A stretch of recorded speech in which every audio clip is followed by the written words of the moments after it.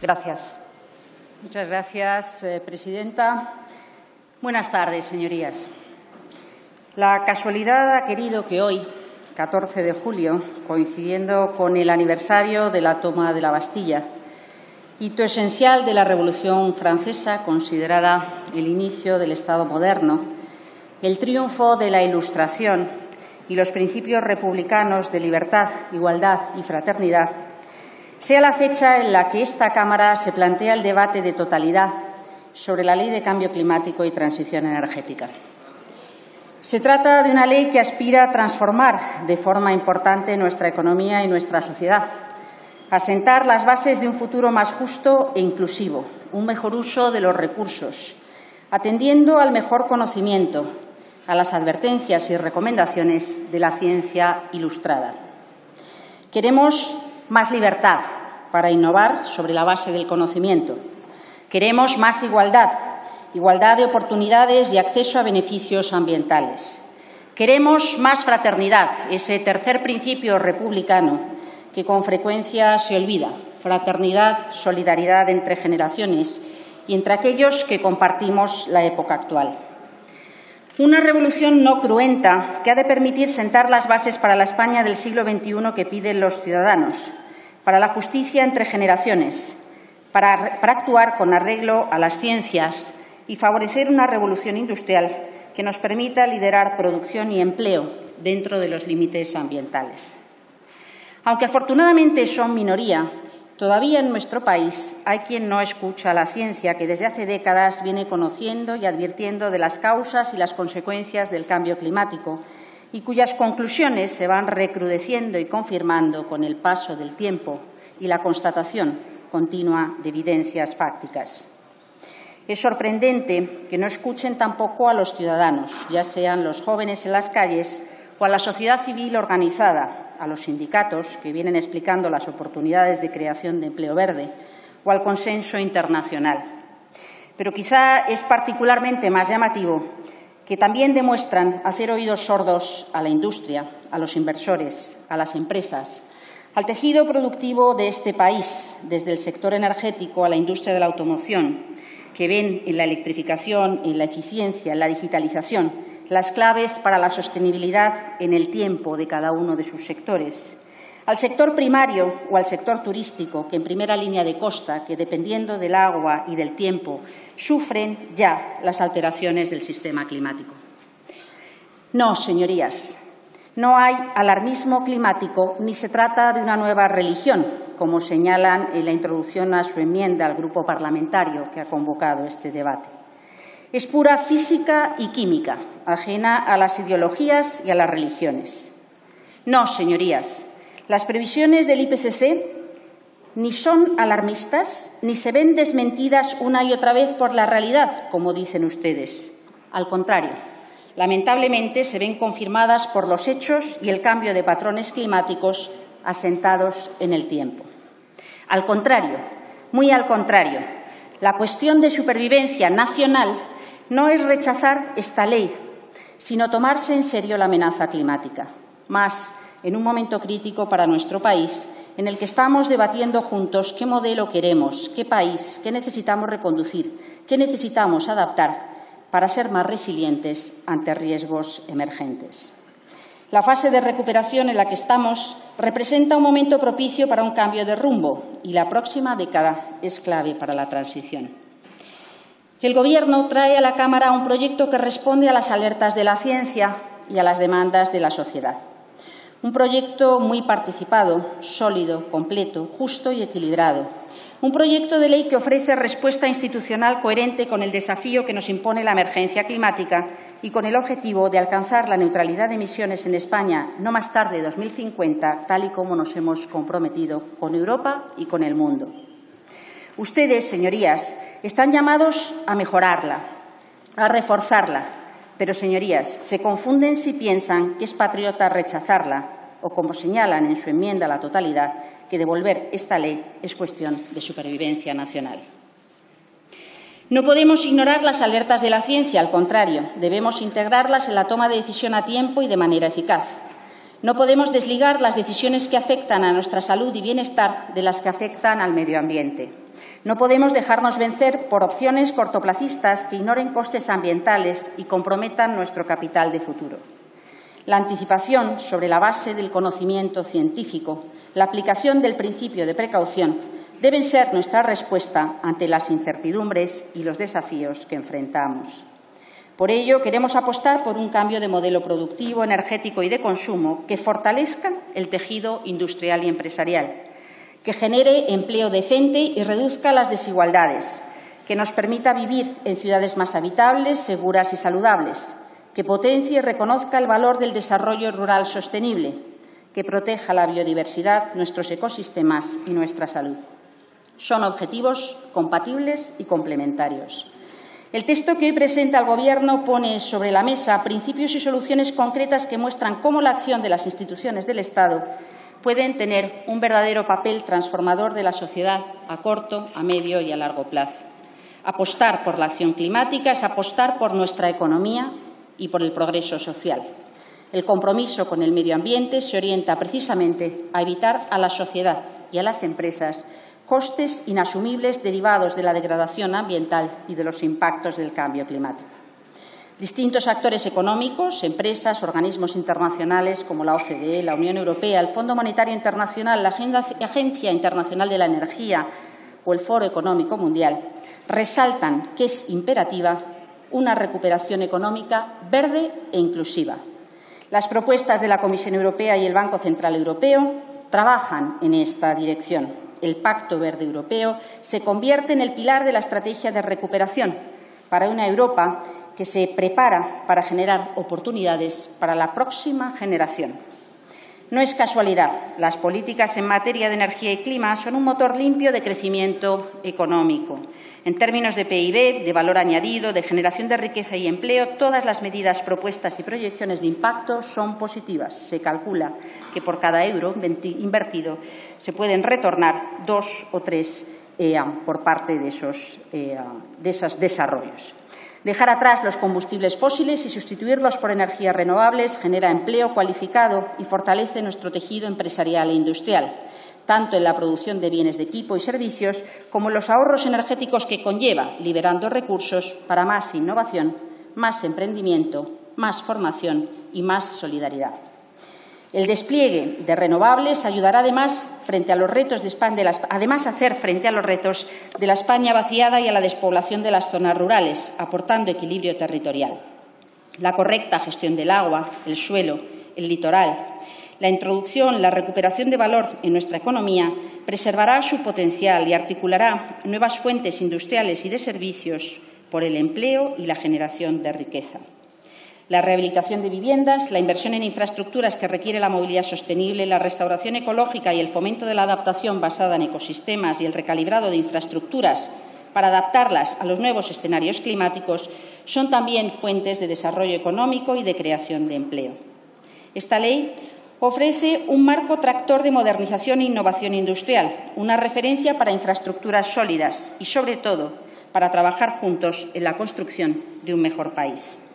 Gracias a la transición energética, gracias a la acción climática y la expansión de las renovables, nuestra economía será más competitiva al reducir el coste energético. Generará ahorro a las familias, aumentando la renta disponible y fomentando la distribución de riqueza.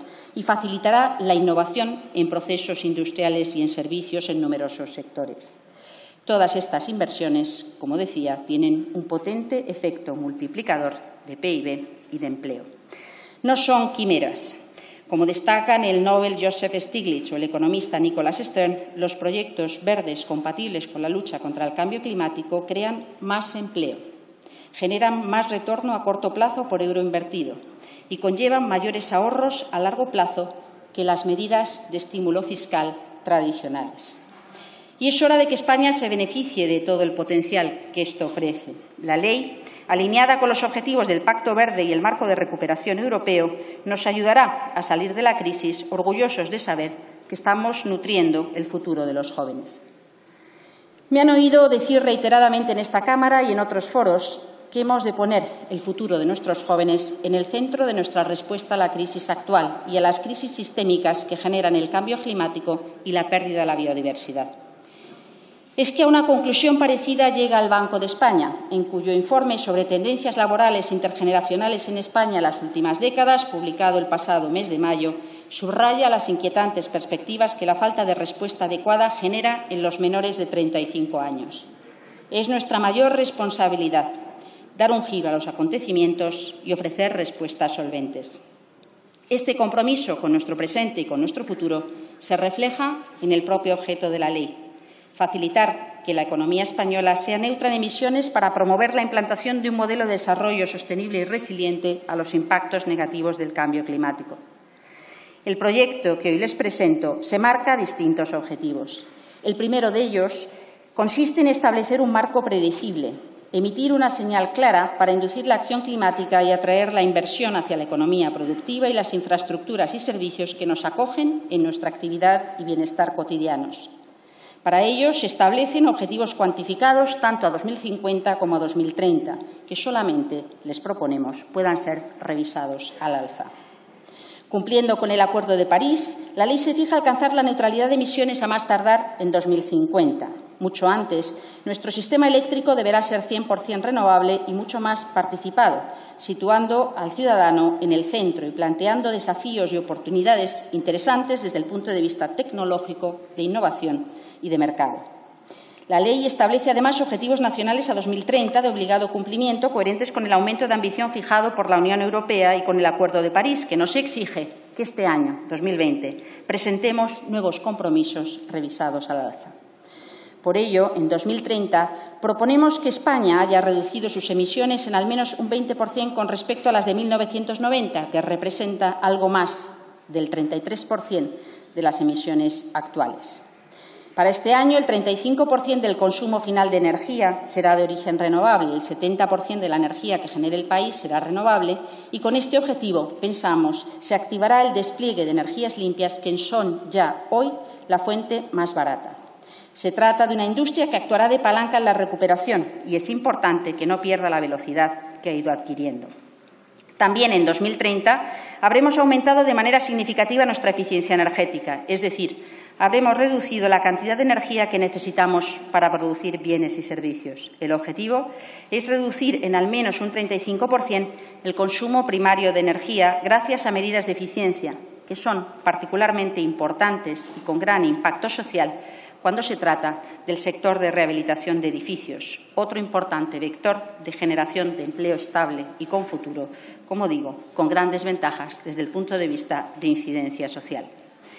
Necesitamos facilitar la pervivencia de sectores industriales y económicos mediante la adaptación de estos a los nuevos retos y demandas con el objetivo de liderar los mercados internacionales de tecnologías limpias. Y estamos bien posicionados. España cuenta con patentes en innovaciones, bienes de equipo y cadenas de valor completas. Es necesario movilizar todos los recursos disponibles para las tecnologías que generan empleo y progreso sostenido en el tiempo. Se necesita liberar recursos para la innovación industrial en materiales, en prestaciones, en energía limpia. Esto explica por qué los combustibles fósiles deben tener tratamiento específico concreto en la ley que nos permita ir dejando atrás su uso han contribuido enormemente al progreso durante décadas. Hoy sabemos que sus efectos secundarios nos obligan a facilitar la entrada de alternativas y la salida progresiva de su peso en la economía. No será de un día para el otro, pero tampoco es responsable mirar para otro lado y dejar que ocurra solo. La planificación de la política energética y de clima, facilitando la anticipación, la identificación de objetivos, los escenarios, entender, anticipar y promover dónde estamos, dónde queremos estar y cómo podemos llegar, es el segundo de los objetivos que se plantea la ley. A través de la previsión, la regulación, del Plan Nacional Integrado de Energía y Clima y la Estrategia de Descarbonización a 2050, herramientas ambas propias del marco comunitario en el que se desarrolla nuestra actuación deberán recoger los objetivos sectoriales y las políticas y medidas para alcanzarlos, asegurando que todos los sectores de la economía participan y contribuyan con anticipación en el proceso de descarbonización y resiliencia de nuestra economía. Tanto los sectores incluidos en el régimen europeo de comercio de derechos de emisión, las grandes industrias, el sector eléctrico, como los sectores difusos, el agrario, forestal, transporte residencial, institucional y gases fluorados. Un tercer objetivo sumamente importante consiste en facilitar la correcta identificación de las principales instrumentos, las principales herramientas para descarbonizar. Aquí, la receta común en nuestro entorno pasa por el despliegue de las renovables, el impulso a la eficiencia energética y la movilidad sostenible y la electrificación de los usos finales. En la parte energética, la ley recoge diferentes elementos, muchos de los cuales hemos anticipado, hemos debido anticipar en el Decreto Ley 23-2020 que mañana mismo presentaré a convalidación ante este Pleno. Incluye la habilitación de un nuevo marco de subastas para renovables que nos permita anticipar y beneficiarnos de la reducción de sus costes en un momento como este. Incluye la definición de nuevas figuras en la normativa del sector eléctrico, como el almacenamiento, el agregador de demanda independiente o la hibridación. La ampliación de la vigencia del Fondo Nacional de Eficiencia Energética hasta 2030, el fomento de los gases renovables, como el biogás y el biometano, o el hidrógeno, clave para la descarbonización de la industria y con un importante potencial en nuestro país para grandes generadores de hidrógeno renovable a precios competitivos. Incluye también la habilitación al Gobierno para requerir a los actores regulados del sistema energético, al operador del mercado, al operador del sistema, al transportista y a los distribuidores que elaboren y presenten estrategias de descarbonización en su ámbito de actuación. La trascendencia en la economía de estos actores no nos permite correr el riesgo de que no hayan previsto, anticipado y preparado con suficiente antelación la evolución a la que se enfrentan. En materia de eficiencia energética, la ley emite también una señal que marca objetivos a medio plazo y que vincula la estrategia a largo plazo para la renovación de edificios, asegurando la coherencia entre el Plan Nacional Integrado de Energía y Clima y la actuación en rehabilitación urbana. Y en promoción de la movilidad sostenible se avanza en distintas líneas de trabajo. En 2050 deberemos alcanzar un parque de turismos y vehículos comerciales ligeros sin emisiones directas de CO2 en línea con las pautas europeas, la demanda social y el desarrollo tecnológico, no más tarde de 2040 los vehículos deberán ser cero gramos de CO2 por kilómetro recorrido. La industria en nuestro país debe liderar el futuro de la movilidad sostenible con el apoyo necesario y no quedarse anclado en tecnologías sin mirar, sin evolucionar en la dirección que marcan los marcos regulatorios, pero también la demanda a la que han de hacer frente. Tendremos que trabajar en la transformación urbana. Los municipios de más de 50.000 habitantes, las islas, establecerán zonas de bajas emisiones a no más tardar en 2023 para facilitar desplazamientos a pie, bicicleta u otros medios, mejorando el transporte público y adecuándonos a lo que ya viene siendo una realidad cada vez más frecuente e intensa en las capitales europeas. La adecuación urbana al escenario de nueva normalidad exige dar más espacio a peatones y ciclistas y facilitar la movilidad segura y la convivencia en el espacio público. El despliegue de infraestructura de recarga en determinadas estaciones de servicio o en el viario público nos obliga a establecer un mínimo de puntos de recargo que previsiblemente deberá ampliarse a medida que la movilidad eléctrica conquiste cuota de mercado. Para facilitar la detección de la infraestructura de carga se establece un punto de acceso nacional. Y, por último, no podemos olvidar el transporte aéreo y marítimo, facilitando su progresiva descarbonización y las actuaciones en puertos y aeropuertos ligadas a reducir las emisiones de buques y aeronaves cuando están amarrados. El cuarto objetivo consiste en construir resiliencia climática cómo hacer un país más seguro y capaz de anticipar los riesgos del cambio climático. Por primera vez, la ley incorpora la necesidad de activar políticas de adaptación a los riesgos climáticos con los que ya convivimos. Es un ámbito de actuación tan importante como el de la mitigación, como el de la reducción de emisiones. Es fundamental para reducir la vulnerabilidad de la sociedad y de la economía a los impactos del cambio climático, para la vertebración territorial y para la cohesión social en nuestro país. Se regulan por primera vez los elementos esenciales del Plan Nacional de Adaptación al Cambio Climático, como son la determinación de objetivos y su contenido básico. Su aprobación, el modo en el que se aprueba y el desarrollo posterior deberá hacerse con arreglo a los distintos programas de trabajo que se vayan consensuando en cada uno de los sectores críticos pero lo más importante es que se aborda con un tratamiento sectorial, identificando algunas de las áreas clave, como son la gestión hidrológica, la costera, la territorial urbanística, la edificación y las infraestructuras, la agraria, forestal y, por supuesto, la conservación de la biodiversidad. Este tratamiento sectorial asegura la integración de la perspectiva de la adaptación de forma horizontal en ámbitos fundamentales para el desarrollo económico y social y en sectores vulnerables ante impactos de acuerdo con las proyecciones y escenarios climáticos. Se incluyen también elementos necesarios para reforzar nuestra respuesta, investigación, desarrollo, ciencia, observación, la fijación de un sistema de indicadores de impactos y adaptación al cambio climático que faciliten el seguimiento y la evaluación de las políticas públicas, así como su éxito, su impacto. Y se incluye la necesidad de elaborar informes de riesgos que informen periódicamente la toma de decisión por parte de los responsables públicos y que puedan orientar las inversiones de sectores públicos y privados. Lo que no se mide ni se conoce no se mejora ni se maneja. Necesitamos, por tanto, dar seguimiento. El quinto objetivo de la ley es ofrecer una visión compacta de la dimensión social en las políticas de transformación de nuestro sistema, solucionar problemas a corto plazo y al tiempo preparar las habilidades profesionales y la adquisición de conocimiento para las demandas laborales de hoy y de mañana. Tenemos, por una parte, la transición justa, por otra, la educación y la formación para el empleo.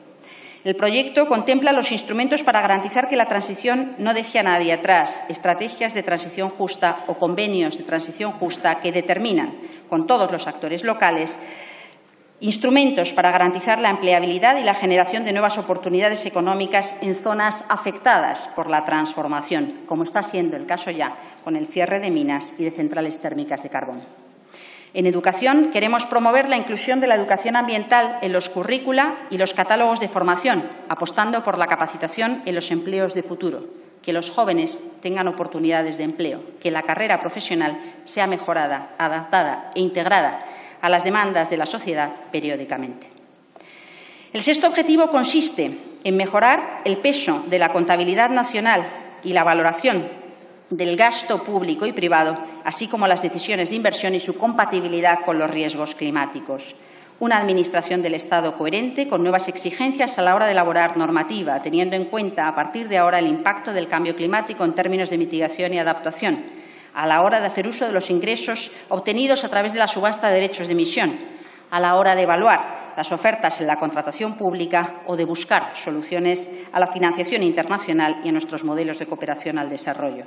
En concreto, se propone, entre otras cosas, que el porcentaje de los presupuestos generales del Estado que contribuye a los objetivos de clima y energía sea equivalente al que se acuerde en el marco financiero plurianual de la Unión Europea. Se propone la revisión de los subsidios a combustibles fósiles o también, en función de la dimensión del riesgo en cada una de las decisiones del sector privado, facilitar el que los decisores y las estrategias empresariales entiendan y compartan la información de forma transparente con respecto a qué representa para el sector financiero y las grandes empresas su exposición al riesgo climático. Para ello, se introduce la obligación de presentar en materia de obligaciones de información no financiera un informe de carácter anual en el que se haga una evaluación del impacto financiero de los riesgos asociados al cambio climático generados por la exposición de su actividad, incluyendo los riesgos en un contexto de transición hacia una economía sostenible y las medidas que se adopten para hacer frente a dichos riesgos.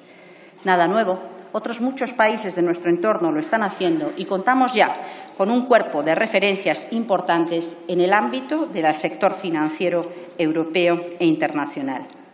Las entidades financieras deberán publicar objetivos específicos de descarbonización de su cartera de préstamo e inversión, alineados con el Acuerdo de París a partir de 2023 acuerdo internacional ratificado por esta Cámara en la que se incorpora la obligación de que el conjunto de los flujos financieros vayan siendo de forma progresiva compatibles con la lucha contra el cambio climático y el cumplimiento de la neutralidad de la seguridad climática a más tardar en 2050. El Banco de España, la CNMV y la Dirección General de Seguros y Fondos de Pensiones elaborarán un informe sobre la evaluación del riesgo para el sistema financiero español derivado del cambio climático periódicamente, que se lo harán llegar a sus señorías. La última de las dimensiones de este proyecto de ley pretende mejorar la gobernanza a través de la creación de un comité de expertos y el fomento de la participación pública en materia de clima un comité de carácter independiente responsable de evaluar y hacer recomendaciones sobre políticas y medidas de energía y cambio climático, incluidas las normativas, que deberá elaborar anualmente un informe que deberá ser remitido al Congreso de los Diputados y sometido a debate en el mismo con la participación del Gobierno. En definitiva, con este proyecto presentamos un marco institucional de acción coordinada para facilitar de manera predecible la progresiva adecuación de la realidad del país a las exigencias que regula la acción climática. Es decir, se establecen las condiciones para alcanzar la neutralidad climática con anticipación, ofreciendo certidumbre a todos los actores públicos y privados, facilitando espacios para el debate y la mejora, la actualización periódica. Yo diría, señorías, que con esta ley España cumple. Cumple como país, aumentando su contribución a la lucha contra el cambio climático, tal y como nos comprometimos al ratificar el Acuerdo de París. Cumple con la ambición que se ha fijado Europa. Queremos ser un continente neutro en emisiones no más tarde de 2050. Cumple con la comunidad internacional, facilitando la respuesta multilateral de todos los países para lograr que el planeta avance lo más rápido posible y con las capacidades necesarias hacia una economía descarbonizada. Pero lo más importante, dar respuesta a las demandas de la sociedad española, que reclama acción inmediata sin desatender la justicia social e intergeneracional acompañando a los colectivos más vulnerables en el presente y con la mirada puesta en las generaciones futuras a las que no podemos legar la hipoteca de un clima inestable. Ofrecemos un marco flexible pero comprometido con las generaciones de hoy y con las de mañana. Por todo ello, les pido a sus señorías que hagan esta propuesta suya, la trabajen, la mejoren, que faciliten su rápida adopción y su vigencia. Muchas gracias.